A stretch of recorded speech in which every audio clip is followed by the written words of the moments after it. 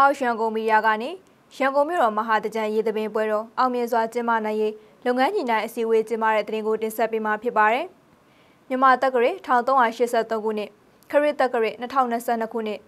ရန်ကုန်မြို့တော်ဗဟိုမတ်တပ်မဟာတကြံရေသပင်ပွဲတော်အောင်မြင်စွာကျင်းပနိုင်ရေးတတိယကြိမ်လုပ်ငန်းညီနိုင်အစည်းအဝေးကို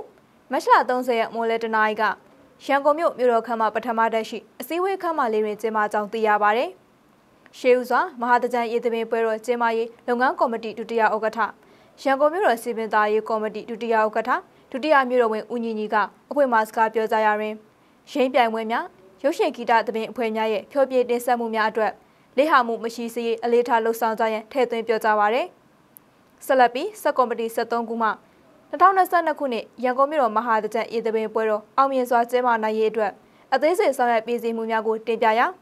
လုပ်ငန်းကော်မတီဒုတိယဥက္ကဋ္ဌဒုတိယမြို့တော်ဝင်ကလိုအပ်သူများဖြည့်ဆည်းပေးပါတယ်။မြမရိုးရာရင်ကျေးမှုမဟာတကြဤသမင်ပွဲတော်အား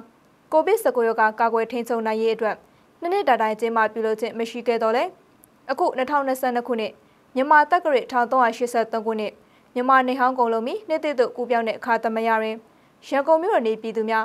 မြမရွာရင်ကျေးမှုအစဉ်အလာနဲ့အညီစိတ်လက်ပေါ်ပါပြီးပျော်ရွှင်ချမ်းမြေ့စေရေးအတွက်ပြန်လည်ကျင်းပပြုလုပ်နိုင်ရေး ရန်ကုန်တိုင်းဒေသကြီးအစိုးရအဖွဲ့လမ်းညွှန်မှုဖြင့်ရန်ကုန်မြို့တော်စီပင်သားရေးကော်မတီမှစီစဉ်ဆောင်ရွက်လျက်ရှိကြောင်းနဲ့မြန်မာလူမျိုးတို့အနေနဲ့မြန်မာရွာတကြံကိုရင်းအကပြိုင်ပွဲများတိုင်းရင်းသားရွာအင်ကျဲမှုအကပြိုင်ပွဲများရုပ်ရှင်နဲ့ဂီတပညာရှင်များရဲ့တေးသချင်းဖျော်ဖြေမှုများတပင်းပညာရှင်များရဲ့တင်ဆက်မှုများအပြင်လမ်းလျှောက်တကြံကိုလည်းထည့်သွင်းပြီးစီကားတိုက်မြစ်စွာအကျင်းပပြုလုပ်သွားမှာဖြစ်ကြောင်းသိရပါတယ်။ဒီသတင်းကိုတော့သင်မောင်မောင်နဲ့ကျော်သူထက်တို့ကပြပို့ထားဖြစ်ပါရဲ့ရှင်။